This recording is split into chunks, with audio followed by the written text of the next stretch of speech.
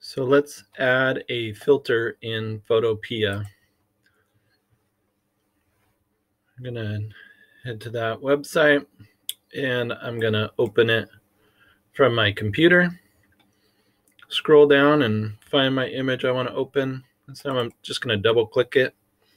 That'll open it up in here.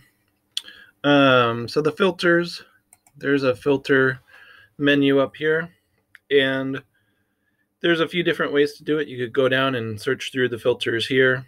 You could also use the filter gallery.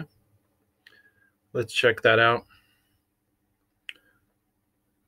So, and it opens, when you open it up, it does have a preview of, of what it's going to do.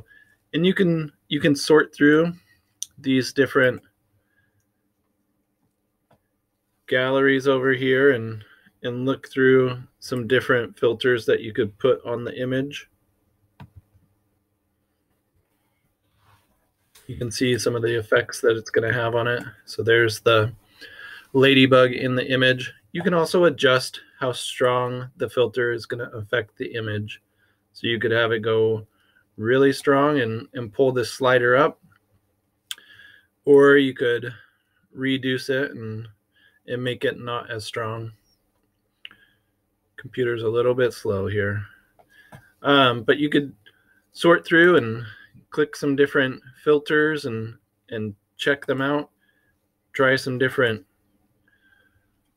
functions on them and and play with the the size and the different changes that it's going to make and just kind of search through see if you find one that you think looks cool and when you got it uh, what you want to try, you just hit OK.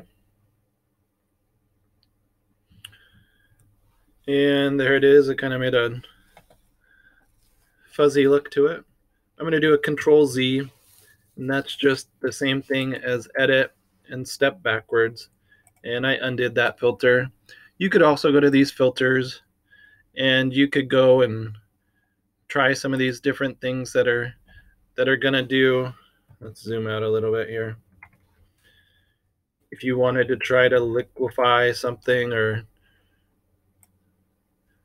I'm not sure why you would do it other than just to see if you could make it look cool, make it look like Starry Night or something. But you can try some of these filters out and see if you like them.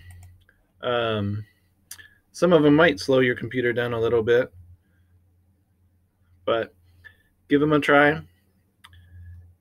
See if you like them and have fun with it. Once you find one that you like, don't forget to go to File and Export As and save it as a JPEG or a PNG.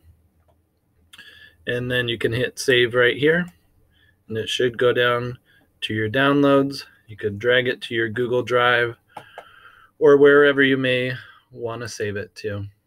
I think that's it.